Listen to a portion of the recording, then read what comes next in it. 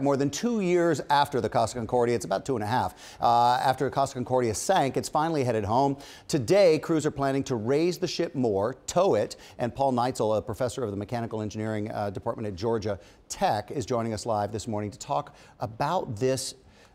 I, I don't know what else to say it other than this maritime in crazy engineering feat. I mean, when I saw this thing on its side, Paul, I did not think it was possible to move a ship this size. Can you tell us, has it ever been done before and what goes involved in doing it? This is the largest ship that has ever sunk. It's twice the size of the Titanic, so it's a major, major undertaking. And admittedly, it's not in the middle of the Atlantic below a few thousand meters of ocean. It's on its side in 20 meters of water, but still it's an incredible feat to, to get it upright, to float it, and then tow it away. It sounds like a simple process in, in concept, but it's, it's very difficult. So what does it take? I mean, it's laying on its side. It's kind of on uh, the edge of like almost a reef, but it's kind of a shelf there, and there's deep water on one side of it. It's deep water on one side. It's, it's laying at about 70 degrees, if I can use this as a prop. Sure, sure. And uh, so the first thing that had to be done was the ship had to be righted. Uh -huh. Well, in order for the ship to be righted, there had to be some structure, some infrastructure underneath, bolted in, not bolted in, but attached to the seabed right. in order to support it. So that took a lot of time to design, build, they and had install. to build the structure underneath the that's ship correct. that's laying precariously above them. That's correct. Then they, they have to attach something to allow the ship to be floated.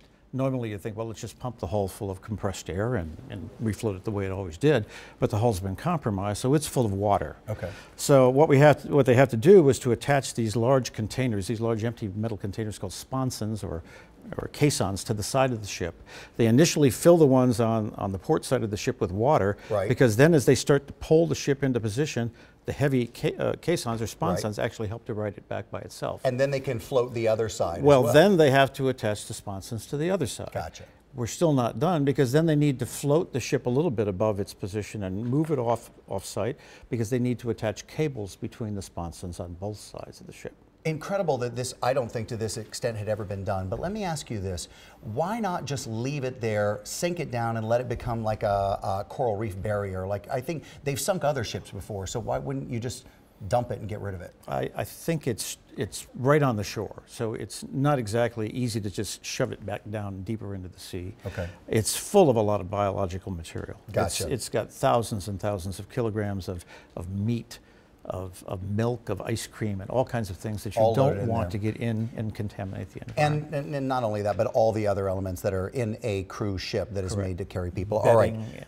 You know. Paul Neitzel, thank you so much for joining us from Georgia Tech. I appreciate it because this is one of those things that we just wanted to dive deeper in and understand how it was done.